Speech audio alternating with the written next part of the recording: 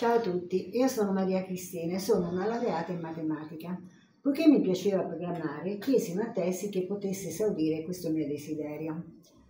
A quei tempi il professor Giovanni Cocco, eh, che fu tra i fondatori dell'Associazione Italiana di Cristallografia e organizzatore del primo congresso di cristallografia, era direttore sia dell'Istituto di Mineralogia che del Centro di Calcolo della Università degli Studi di Perugia. Vi ricordo che a quei tempi non esistevano i personal computer se solo in scrivania.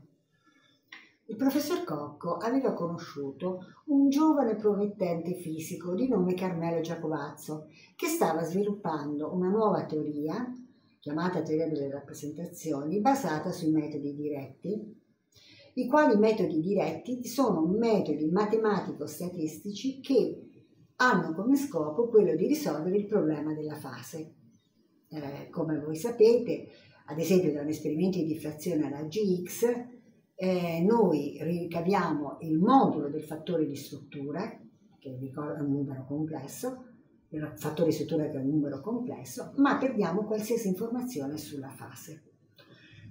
Il, pro, eh, il professor Giacovazzo stava cercando uh, persone in grado di programmare al fine di sviluppare un software basato sulla sua nuova teoria. Questo software si sarebbe chiamato SIR e l'acronimo SIR sta appunto per Semi-Invariant Representation. Il professor Cocco invitò due persone del suo staff a contattare Carmelo. Antonio Nunzi e Giampiero Polidori accettarono l'invito e così iniziò la collaborazione del gruppo di Perugia con Carmelo. Io chiesi la tesi a Nunzi entrando così in un campo per me pieno di incognite, tanto per fare un esempio non sapevo cosa fosse un fattore di struttura. L'iniziale gruppo eh, SIR comprendeva ricercatori sia italiani che stranieri.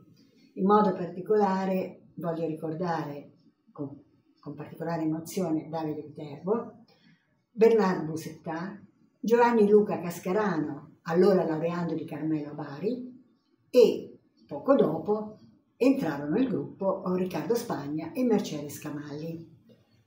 Il gruppo si estese poi a tutti gli appartenenti dell'istituto CNR IRMEC, che poi è diventato l'attuale istituto di cristallografia ICI.